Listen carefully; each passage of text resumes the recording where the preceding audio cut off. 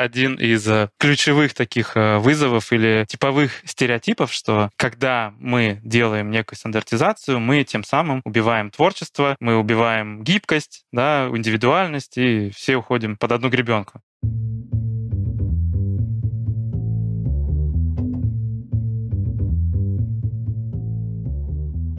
Привет! Я Юра Агеев, и это 299-й выпуск подкаста Make Sense. Вместе с гостями подкаста мы говорим о том, что играет важную роль при создании и развитии продуктов. Люди, идеи, деньги, инструменты и практики. И сегодня мой собеседник Дмитрий Дорофеев – мы поговорим о том, что такое проектный офис, какую роль он играет в стандартизации процессов внутри компании и как взаимодействует между собой менеджерская тройка – Team Lead и Project. Обсудим, что из себя представляет стандартизация процессов, где баланс между системностью, бюрократией и творчеством, и какую роль играют готовые фреймворки. И еще поговорим о том, какие вызовы встречаются на пути внедрения изменений, как с ними работать и как развивать собственную системность. Подкаст выходит при поддержке конференции по менеджменту продуктов Product Sense. Наша следующая конференция состоится 5 и 6 сентября 2024 года в Москве.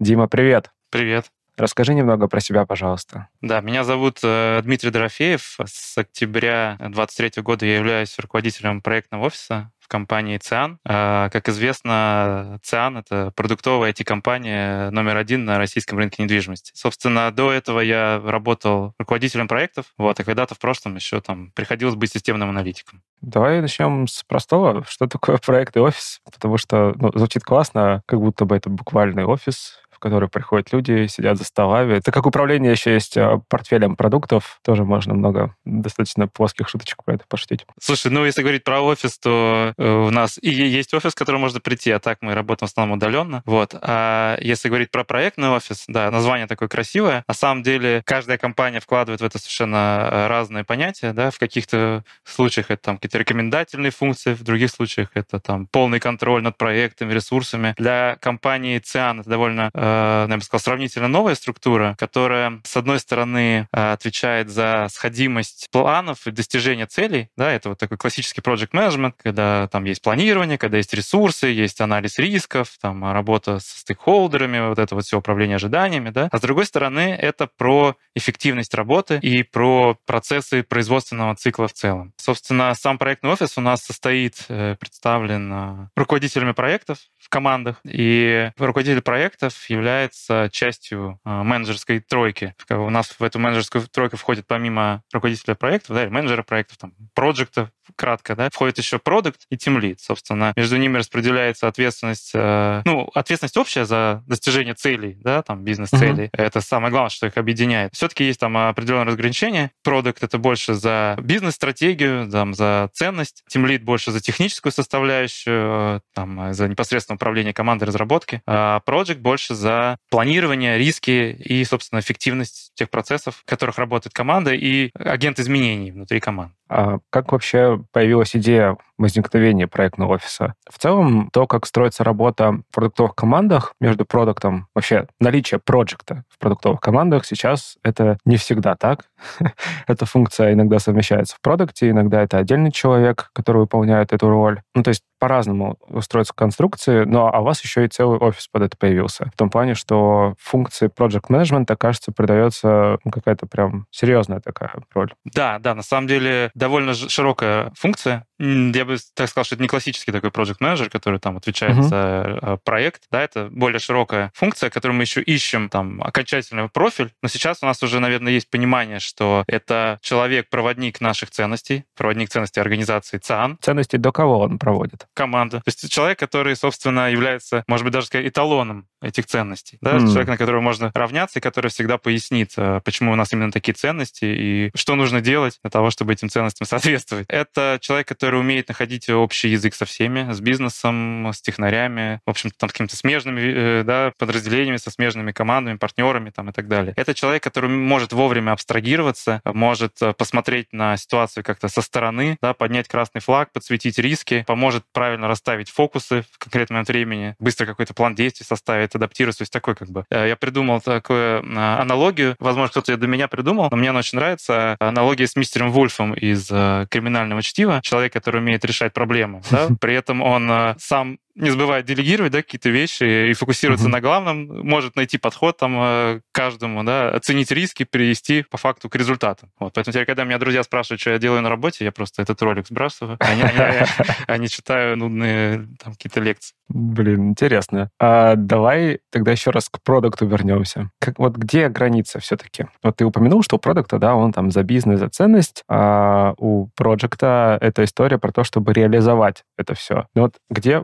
водораздел проходит между ними? Когда они друг другу говорят, вот это твоя зона ответственности? Хороший вопрос, да, и это, наверное, один из тех вызовов, да, которые есть для проектного офиса. Uh-huh. Найти этот водораздел. Я бы так сказал, что он пока что плавающий, да, где-то больше на себя берет там в каких-то вещей project, каких-то продукт, каких-то там team lead, да, вот это еще есть такая история. Но все-таки мы считаем, что главное в этом во всем, что мы контрибьютим в общую цель, да, это наша задача хм. привести направление к общей цели. Как мы распределим там, это уже вторично. Есть какая-то предварительная там нулевая, так скажем, э, распределение зон ответственности, да, там, что продукт больше за стратегию, за то, какие мы хотим э, там в рамках квартала поставить результаты, ценность, да, какую там на год, на три стратегии, определение влияния на там или потенциального эффекта, да, там определение определение, какие исследования нам нужно сделать, такие вещи. Uh-huh. А, а project это больше про то, чтобы это все случилось, действительно. Uh-huh. Да? И чтобы это случилось эффективно, чтобы оно реально привело к тем результатам, к тем... К запланированным результатам. Да, к запланированным результатам, да.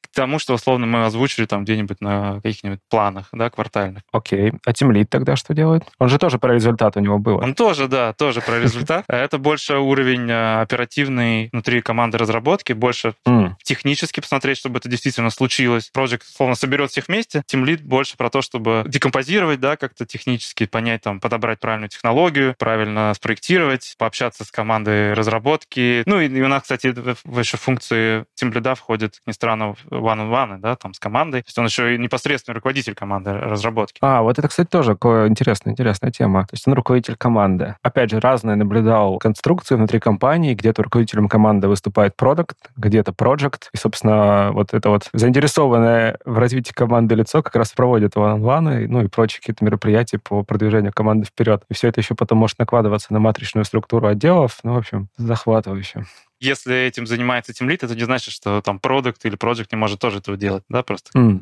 кажется, со своей стороны.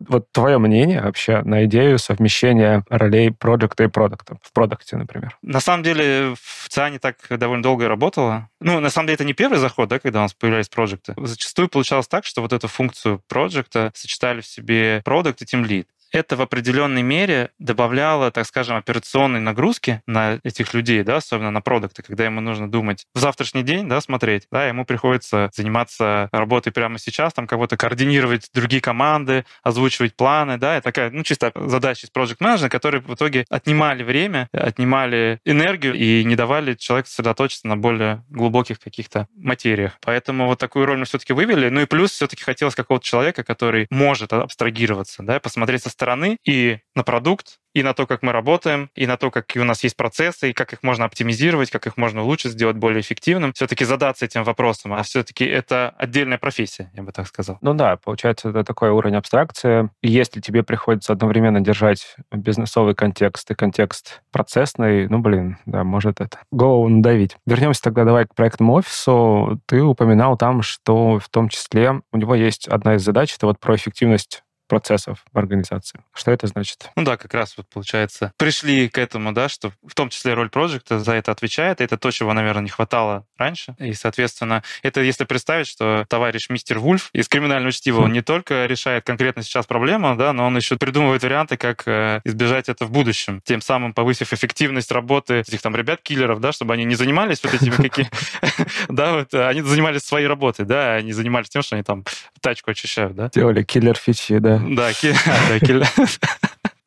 Соответственно, Project проводник изменений в командах, да, его фокус направлен на повышение эффективности. А эффективность, что такое эффективность, да? Мы здесь, наверное, не смотрим с точки зрения организации, да, мера эффективности организации — это прибыльность. Наверное, если мы говорим про эффективность работы там команды какой-то, то ее можно разложить на результативность и продуктивность. Результативность это, mm. ну, или как в английском, да, говорят там, effectiveness and efficiency все время, да. Результативность это когда мы э, достигаем запланированного результата, да, а продуктивность мы достигаем это э, либо с теми ресурсами, на которые у нас там были какие-то ограничения, да, то есть мы достигли результата в условиях ограниченных ресурсов, либо достигаем большего результата в рамках тех э, ресурсов, которые у нас есть. Второе не менее важно, чем первое, но все-таки мы первое держим в голове, что все-таки любые процессы эффективны только тогда, когда они достигают того результата, которого они должны привести, а уже потом про затраченные ресурсы. Ну да, это уже неоднократно у меня звучало в подкасте. Делать и сделать. Это разные вещи.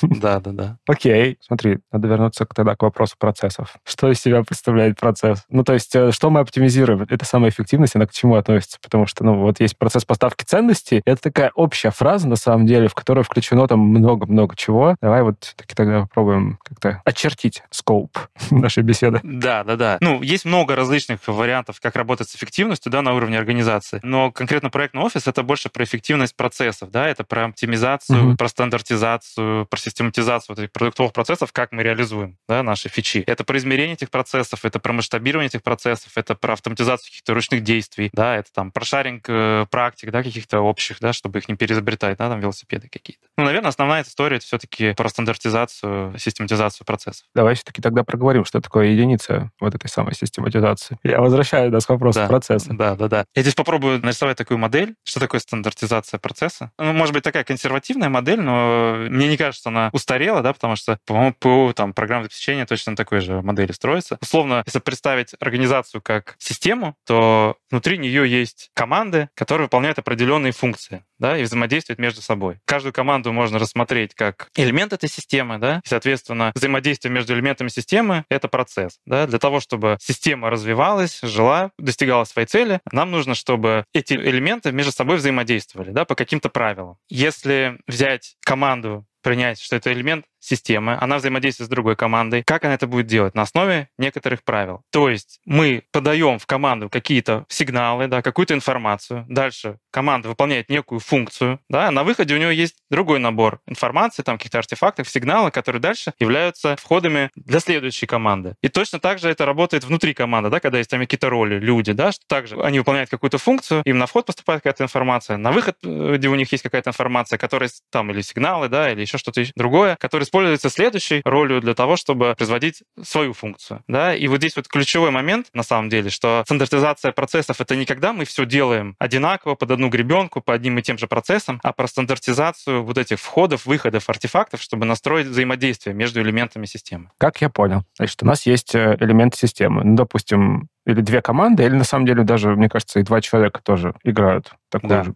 схожую роль. И то, как они взаимодействуют между собой, это и есть, по сути, процесс производства, не знаю, ценностей или чего-то такого. Да. Формат взаимодействия. То есть процесс читай формат взаимодействия. Ну, вообще звучит логично, да, если так. Ну да, собственно, а система живет по этим процессам и достигает угу. какого-то там целевого своего значения, да, динамика системы определяется вот этими процессами, да, она развивается, живет, приходит к какому-то своему развитию за счет этих процессов взаимодействия между элементами. Ну, можно здесь как-то, наверное, спуститься вот с этого с абстрактного уровня и там перейти на более конкретно, да, там рассмотреть это на примере. Давай, конечно, да, нужно заземлить, потому что принципиально схема ясна, потому что, смотри, опять же, мы можем пускаться вниз на уровень отдельно взятых людей внутри команды, и там процессом может выступать, не знаю, код-ревью, да, например. Это тоже процесс. Либо мы, получается, перемещаемся на уровень взаимодействия между команд, а это либо две продуктовые команды, которые делают, ну, что-то там совместно, не знаю, core и какие-то фичи над ней, или команда дизайнеров, команда разработчиков. И то, как они взаимодействуют между собой, как они обмениваются результатами своей работы, тоже описание процесса. И обычно там как раз встречаются какие-то терки. Да, давай примеры. Ну, давай представим пример просто, когда команды ожидается поставка какой-то новой фичи, а другая команда хочет переиспользовать эту фичу там в каких-то своих целях. Вот в данном случае команду можно рассмотреть как черный некий ящик, да, ну или какая-то функция, да, которая принимает на вход, допустим, цели компании. Ну, именно та команда, которая реализует фичу, да, она принимает на вход, например, цели компания, она принимает на вход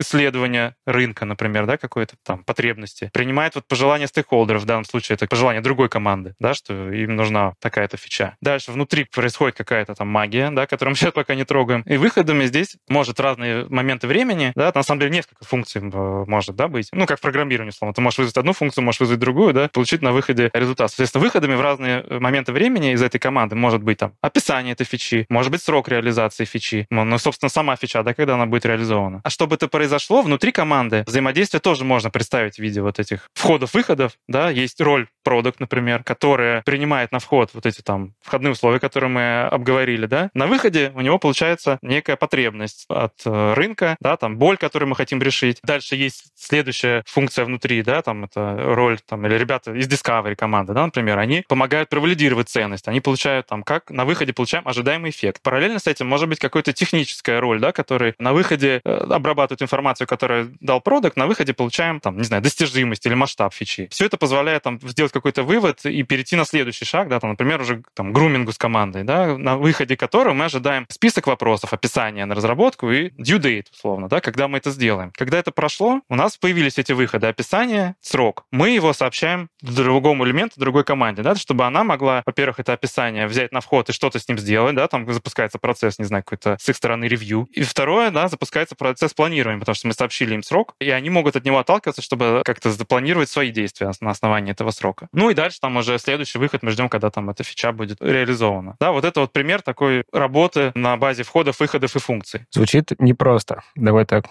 Да, да. Более того, не просто. Вот здесь можно попробовать этот пример немного переиначить, и как оно работает обычно, да, и почему важна вот эта вот модель входов, выходов и функций последовательности. А представим, что мы не стандартизировали вот эти входы, выходы, и, допустим, начали груминг с командой, когда мы еще эффект не посчитали. И к чему это приводит? Мы провели какой-то груминг, команда нагитала какие-то варианты, там, декомпозировали, оценили, начали разработку. В это время решили провалидировать идею. Оказалось, что она нужна в другом виде. Да? Мы вернулись обратно на этап обсуждения груминга, то есть мы уже дважды задействуем ресурсы команды. При этом мы, допустим, сообщили уже срок другой команде, но у нас, допустим, не было процесса апдейта сроков. У нас это было на каком-то на ручном приводе, условно, проект ходил, или, не знаю, продукт, не было проекта, продукт ходил и сам рассказывал, uh-huh. да, об этом. А потом в какой-то момент, да, когда мы перегрумили, или там что-то по-другому это спроектировали, срок изменился, а, ну, а продукт там не сходил, да, не было у него такой задачи. Да, и, соответственно, та команда об этом э, не узнала. Они продолжают на эту команду рассчитывать, э, что они там закончат срок, а потом, когда подходит срок, оказывается, что он еще через месяц произойдет. И этим ребятам тоже нужно перестроить, да, свою работу после этого. А это же можно было, да, просто решить, что там какой-то наладить процесс апдейта сроков, да, что мы там, не знаю, где-нибудь в джире проставили на, на выходе груминга, обязательно нужно проставить там due date, да, это будет выходной артефакт груминга, да, после которого запускается процесс, не знаю, там, обновления какого-нибудь, да, который там упомянет тех, кому надо, да. Ну, это я такие уже генерю мысли какие-то. Но получается, что по факту, если вот это все не стандартизировать, да, вот эти входы-выходы, то у нас возникает дублирование, рассинхроны, лишняя работа, там, блокеры, вот это все. Имеешь стандартизированные входы-выходы, знаешь, что от кого, какой момент ожидать и какие процессы на это завязаны. Не бюрократизация ли это? Не становится ли скучно работать от того, что от тебя требует слишком, ну, не то что жестко, но, короче, ходить вот по этим правилам, так назовем. Насколько они заметны в реальной жизни вообще? Потому что наговорили сейчас так, что как будто бы в роботов людей превращаем. Ну, на самом деле это не так, да, потому угу. что здесь речь не о том, чтобы ты работал как робот, делал только то, что от тебя требуется. Речь о том, чтобы ты на выходе своей работы давал какие-то ожидаемые артефакты. Но это не о том, чтобы подвести все под единый стандарт, как ты делаешь, условно, day-to-day operations прямо сейчас. И здесь еще важно понимать, что вот эти процессы тоже зависят от результата, ценности, которые приносит процесс. Нужно об этом не забывать. Да, ты можешь остановиться угу. на какой-то более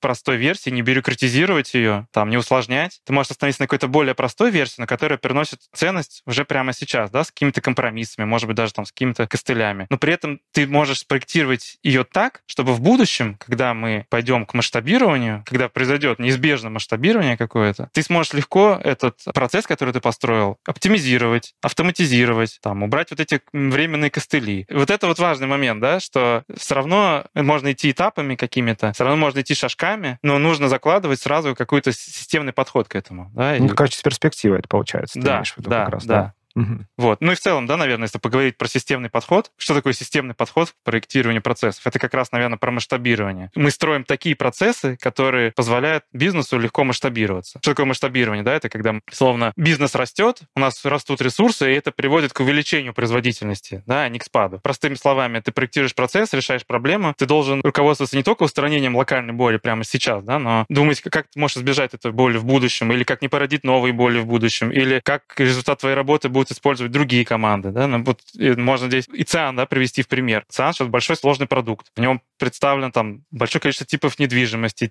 есть различные типы сделки, есть различные сервисы, там э, информационные материалы. При этом функционал все время растет, он все время меняется, добавляются новые функции, появляются новые направления, новые люди. При этом мы остаемся производителями в том плане, что мы равно продолжаем там каждый день э, релизить фичи там, не знаю, в вебе, там раз в неделю релизим в мобильных приложениях. У нас здесь нет какой-то просадки в производительности. Мы расширяемся, продолжаем быть производительностью. Это значит бизнес масштабируемый. Соответственно, вот это про системный подход. Окей, okay, бюрократию понял. То есть если каждый понимает, что от него ждут и что он может ждать от другого, допустим, это окей. А творчество?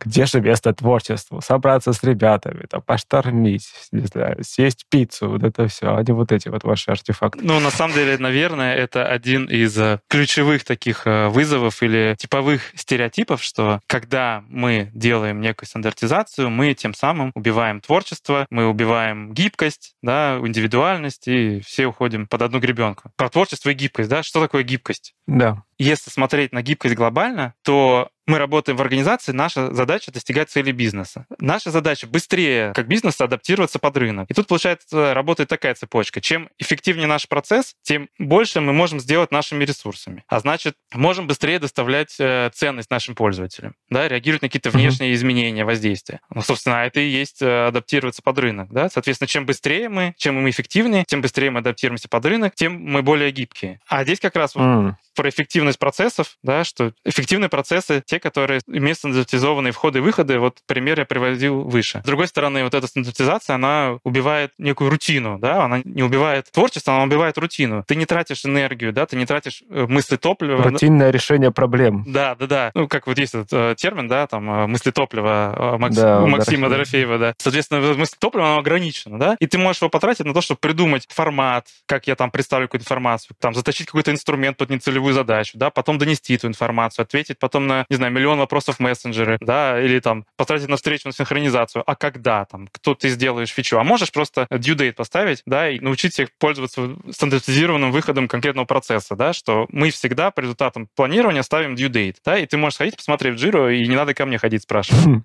Соответственно, ты можешь вот это сэкономленное мысли топлива потратить на творчество, да, на то, чтобы свою функцию сделать более, не знаю, изящно, красиво, как-то творчески подойти к этому решению, да, то есть останется еще какие-то силы на то, чтобы это сделать. А может, останутся силы на то, чтобы подумать над процессом, да, его еще более эффективным сделать, который еще быстрее приведет к результату с меньшими ресурсами. Соответственно, стандартизируя входы-выходы, мы как раз наоборот повышаем гибкость и как раз наоборот даем волю творчеству. Потому что внутри функции ты все равно предоставлен сам себе, условно. Убедил, убедил. Э, прям интересно. Хорошо, тогда давай вернемся к идея мистера Вульфа. Насколько я помню, к мистеру Вульфу там пришли и попросили решить проблему. Что же в случае вашего проектного офиса и там роли проекта, ну, это что получается? Проект такой ходит и, и говорит, у вас тут процесс неэффективный, сейчас я вам тут все помогу. Или как это вообще работает? Как принимается решение о том, что процесс нужно, можно усовершенствовать, добавить ему эффективности, результативности? Есть несколько треков, так их назовем. Во-первых, это может э, идти из команд. Project работает в команде, он там работает с проектами, видит, как работает команда, взаимодействует с другими командами, видит, как там это работает, видит, что есть какие-то неэффективности. Ну, у нас там свое экспертное мнение, что здесь это может работать лучше. Мы здесь много тратим времени. Соответственно, с такой инициативой, там, изменения каких-то, он может выйти, условно, в проектный офис. У нас есть так называемый гильдия проектов, да, где мы можем эту тему обсудить, например, проговорить, что действительно есть такая проблема, и ее можно решить, да, обсудить некоторые решения. Следующий шаг — это внедрение, да, какой-то инициативы. Надо как-то спроектировать, описать цели, чего мы хотим добиться. Ну и тут уже дальше идет вопрос в том, насколько она масштабная, глобальная, на кого она влияет. Если это уровень там внутри команды какой-то, да, или взаимодействие между двумя командами, ну, может быть, какая-то специфика, то, наверное, там можно договориться на уровне команд, там, или проектов команд, и тех, кто в этом процессе работает. Если же это какая-то глобальная инициатива, допустим, на всю компанию, да, завтра мы начинаем вести uh-huh планы проектов в таком-то инструменте. Тут, конечно, важно идти через некое пилотирование, да, с одной стороны. С другой стороны, ну да, то есть выбирать там какую-то команду, в которой это будет эффективно проверить. Вот, с другой стороны, нужно работать, конечно, с стейкхолдерами компании, с менеджментом, потому что все-таки это ресурсы компании, да, и нужно понимать, решим ли мы глобально какую-то проблему, не создадим ли мы другие проблемы, да, и пойти в том числе за поддержкой к менеджменту, чтобы получить их экспертное мнение, да, какие еще проблемы можем решить, а если еще какие-то проблемы, о которых мы не знаем, да, что это может зацепить, или вообще вообще окажется, что на самом деле нужно фокус на что-то другое взять, на что-то более насущное в данный момент времени. То есть вот когда речь идет о каких-то глобальных инициативах, здесь важно в том числе и работать со стейкхолдерами с бизнесом. А вот э, люди, которые будут ощущать на себе внедрение этих самых изменений, у них спрашивают? Естественно, конечно, да. Я просто смотри, почему уточняю, ну да, звучит как будто такое, ну реально продукт, о, простите, профессиональное. Project, значит, увидел, что-то у вас здесь не так. Пойду-ка вынесу на заседание, а потом примем решение, а вы тут пока это. Не, конечно, конечно. Я, наверное, так упростил. Более того, я рассказал такой про трек, да, когда это идет условно от команды. Есть еще, наверное, трек, когда есть какие-то проблемы со, сверху, которые тоже нужно решить. Но вот если мы говорим, идем от команды, то чаще всего эта проблема уже чувствуется внутри команды, да, и если проект пришел с каким-то решением, скорее всего, он уже обсудил это внутри команды, он уже э, получил там какую-то обратную связь, он уже обозначил те проблемы, которые есть, и он увидел, что это можно решить как-то системно. Но в любом случае, э, может быть инициатива, конечно, и от проекта, э, не от команды, и, угу. конечно, важно доносить ценность. Зачем это делается? Чувствуете ли вы эту проблему? Или как вы видите эту проблему? Не будет такого, что там завтра работаем таким образом. Будет обозначение той проблем, которые есть, и то, как мы хотим это решить, и получение обратной связи. Ребята, ну, норм угу. так? Или вы считаете, что есть какие-то нюансы? Естественно, там, не знаю, те же разработчики могут более глубоко быть погружены в какие-то детали там разработческих процессов, скажут, нет, вот здесь это не заработает. Поэтому, естественно, никто не будет навязывать это сверху. Окей, значит, появилась инициатива. Мне хочется остановиться немного подробнее на части проектирования нового процесса. Да, то есть мы уже описывали, что такое процесс, да, это как, ну, собственно, описание взаимодействия между двумя единицами, так назовем.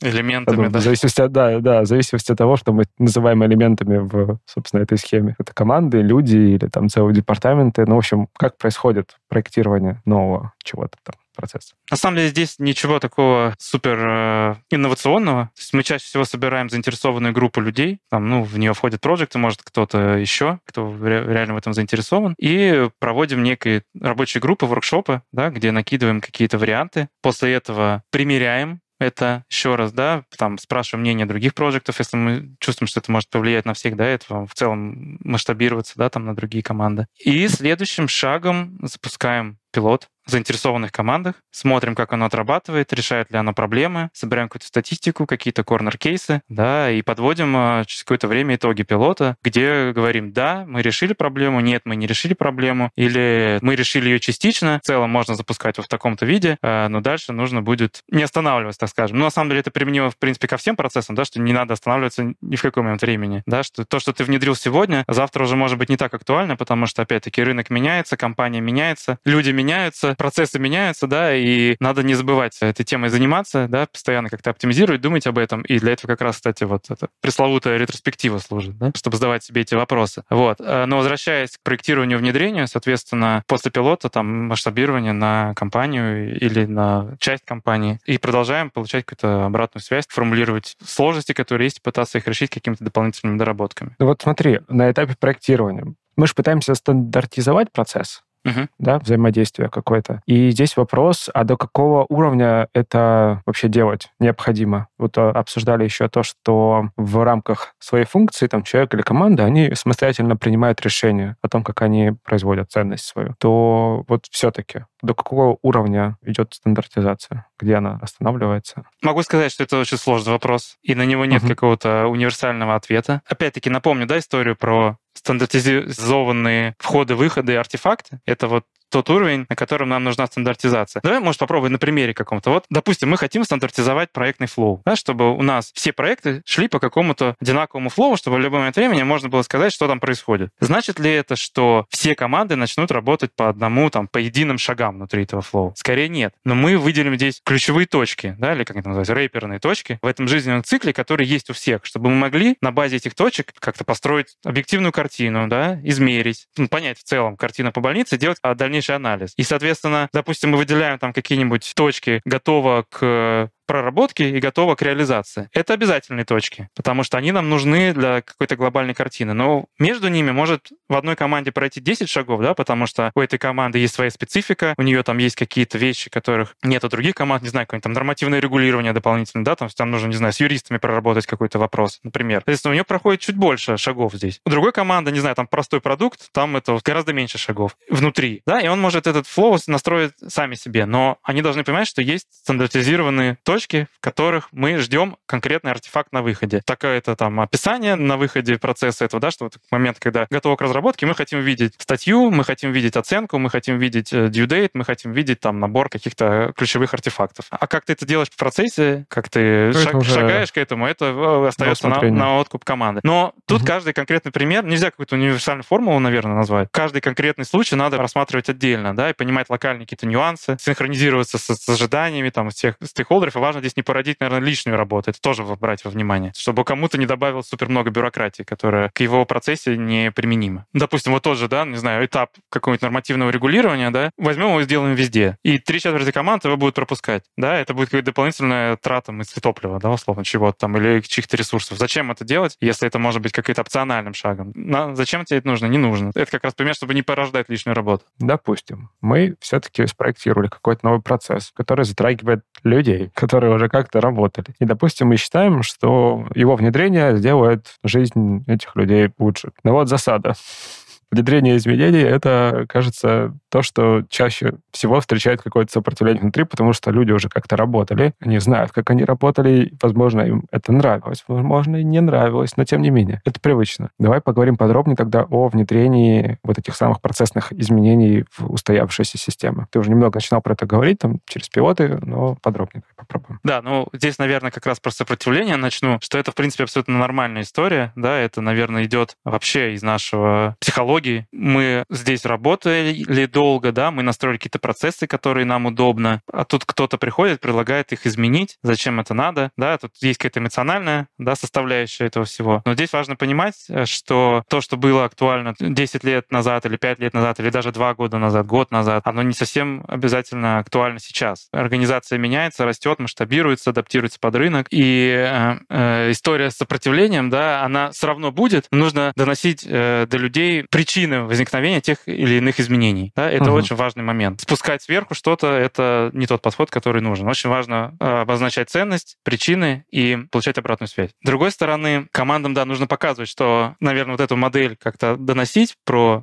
то, что мы все-таки работаем в организации, что мы все направлены на выполнение какой-то определенной функции. Оптимизацию метрики. Да, оптимизация метрики, вот это вот все. И если вы будете как-то жить в замкнутом мире в своем, то в какой-то момент вам будет сложно взаимодействовать взаимодействие с другими командами, которые там уже что-то изменили. Пример, да, там у вас стоит какая-то важная бизнес-задача, а в другой команде там из каких-то блокеров, да, там какие-то неоптимальные процессы были, да, простаивают ресурсы. Принято решение перебросить эти ресурсы к вам в команду, там, на две недели, условно. А у вас так все по-своему работает, что на онбординг уйдет половина этого времени, да, чтобы люди понимали, как mm-hmm. вообще в вашей команде работать. И вот это как раз вопрос про масштабирование, что когда была компания маленькая, это работало. А сейчас продукт большой, а задачи сложные, процессы сложные, и чем сильнее ты э, уходишь от других команд, тем сложнее тебе потом встраиваться в общий какой-то флоу работы. Ну а в целом, если говорить про внедрение изменений, то можно использовать какие-то стандарты, которые уже кто-то придумал до тебя, да, чтобы не начинать с нуля. Я, наверное, это про пресловутые фреймворки. Тут есть много вопросов и, и скепсиса на этот счет, разные сторонники, но в целом, что такое фреймворк? Да, это когда кто-то за тебя посидел и подумал, как вам будет э, удобно работать, решить типовые какие-то задачи. Оно как будто бы конфликтует с тем, что мы уникальны, уникальны, у нас там уникальные какие-то продукты, услуги, э, мы уникально работаем, у нас свои какие-то конкурентные преимущества, а тут мы хотим внедрить чей-то стандарт, который кто-то там придумал. Вот я здесь, наверное, занимаю какую-то сбалансированную позицию, что это хорошая точка для старта. Ты можешь начать с того, чтобы взять какой-то существующий стандарт, к примеру, там, приоритизацию инициатив. Ты хочешь приоритизировать как-то те инициативы, которые пойдут в работу. Да? Но ты можешь сам это придумать, а можешь взять чью-то э, наработку, да, например, там, RISE какую-нибудь приоритизацию, да? Ты ее посмотришь, попилотируешь, проверишь, посмотришь, решил ли он задачу, соберешь какую-то статистику, соберешь частные там корнер-кейсы. На основании этого ты уже можешь сказать, ага, мне здесь не хватает, например, там больше веса мнения продукта, да, мы не хотим не просто опираться на какие-то слепые цифры, да, мы хотим, чтобы здесь еще был вес от продукта или там еще от кого-нибудь. Ок, но ты уже внедрил ее базово, ты попробовал, посмотрел, как она работает, дальше э, адаптировал под себя. То же самое, например, с методологиями разработки, с тем же, не знаю, скрамом, да? Они довольно тоже э, гибкие истории, потому что они уже внутри содержат в себя некоторые настраиваемые параметры для того, чтобы адаптироваться под какую-то команду. И они позволяют довольно гибко настраивать этот процесс, да, покрыть 80% каких-то сценариев. Да, 20 окажется не закрыто, да, или там 10. Но эти 10 ты можешь уже в процессе работы там каким-то Ну, образом... самостоятельно как-то, да, Да. доработать, В, том- в том же, да, этом скраме ты там, в- например, выбираешь длину спринтов своих, ты выбираешь там формат встреч, как их проводить, да, флоу задач ты можешь себя свой настроить, да, ты можешь там определить definition of ready свой, definition of done, то есть довольно много вещей, которые все-таки, как это называется, tailoring в терминах Project Management Institute, называется tailoring, да, то есть ты берешь какую-то методологию, дальше под себя подстраиваешь. Что это про то же самое. Внедри на нуле, потом можешь подстраивать под себя. Мое мнение такое относительно использования фреймворков. Смотри, мы к этой теме перешли от сопротивления, да, Да. от идеи того, что внедрение изменений вызывает сопротивление. И фреймворки, в частности, иногда тоже вызывают сопротивление, хотя вот продукт менеджменте кажется, наоборот, любят разные фреймворки. Тем не менее, окей, это отличная точка для старта, но, получается, надо продавать эту идею, короче. Ну, то есть команде. Да, от этого все равно никуда не уйдешь, но здесь нужно ну, открыто показывать те проблемы, которые есть, предлагать варианты, выслушивать обратную связь. Без этого никак оно не пойдет. Просто прийти с каким-то внедрением, конечно, оно не заведется. Все-таки все мы люди, все мы человеки, и каждого есть свое мнение, и каждый ценит то, что он делал раньше, да, ему очень не хочется, чтобы то, что он делал, сильно изменилось. Поэтому здесь психология тоже есть. А вот из твоего опыта, что лучше всего срабатывало все-таки? Если продажа, то какая? То кому? стараюсь показывать ценность. Если это не срабатывает, есть такой универсальный да, способ. Давай просто попробуем и посмотрим, что из этого получится. Ну, не получится и окей. Чаще всего там э, в большинстве случаев это срабатывает, и люди уже в процессе начинают понимать, да, то есть они там вначале говорят, нет, не буду, мне это мешает, да. Потом оказывается в процессе, что в целом-то идея нравится, да, просто человек, может быть, пару каких-то неудобных моментов. Или человек боится того, что на него упадет больше работы, что ему придется больше делать сейчас. Если мы говорим про какую-то эффективность работы в целом, да, про стандартизацию, все равно нужно вкладываться, инвестировать в то, чтобы решать проблемы с прицелом на будущее. Иначе ты так и будешь все время жить в режиме пожаротушения, да, ты Блин, будешь- это тебе понятно. Вот слушай, тебе понятно про будущее.